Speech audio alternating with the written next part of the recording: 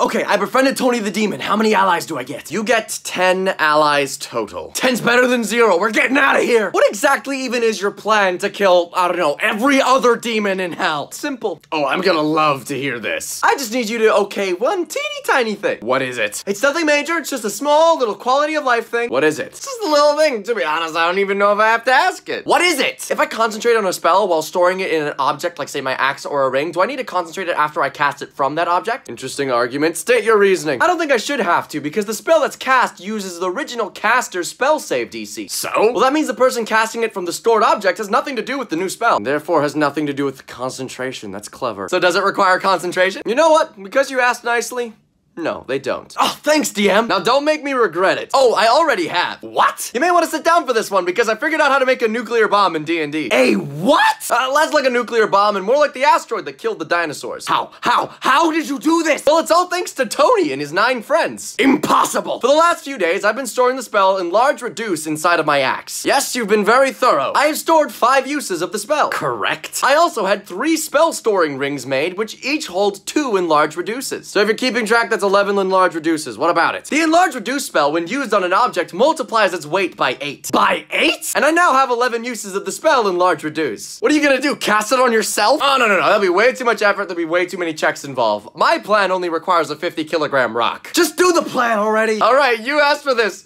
Hey, Tony! yes, master. Operation Fireball is a go! Has everyone ready to spell fly? Yes, master. All right, everyone, cast fly on yourself. I've got the 50 gram rock in my back pocket. How do you have a 50 kilogram rock in your back pocket? I have very, very deep pockets. Mm, checks out. Okay, this plan is gonna happen almost instantly, so I need you three to ready your action until I pass you the axe, and then you three need to ready your action until you get a ring. Wait a minute. I'm gonna drop the 50 kilogram rock, and we need to wait until it reaches terminal velocity. You have 11 uses of enlarge reduce. Once it reaches terminal velocity, we need all fire off our large reduces in one turn, or that rock is gone forever. That rock is gonna gain weight by 8 to the power of 11. Because we maintain concentration on our fly spell, we can go straight up as fast as we can. That rock is gonna hit the floor of hell with over a billion times the power of a nuke! All right, everyone, we're at peak altitude. Cast your spells. I have to stop them. For the fireball! For the fireball! What happens when the rock hits the earth? You all watch in horror as you watch a positively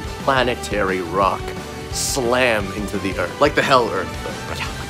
Okay, just check. The preceding explosion can only be described as world-ending. I grab Tony's hand. He squeezes yours back. See you on the other side, friend. If there is one. But we're not allowed to die until we get our beach episode. I know. How much longer until the explosion reaches us? Right as the explosion reaches you, you get a burst of speed.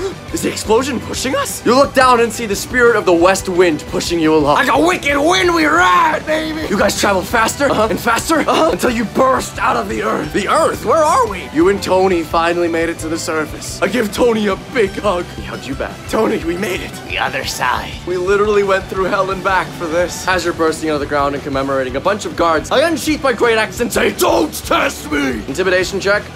Of all times to nat one. Oh my god! It's gonna be back on Earth, baby. Whoa!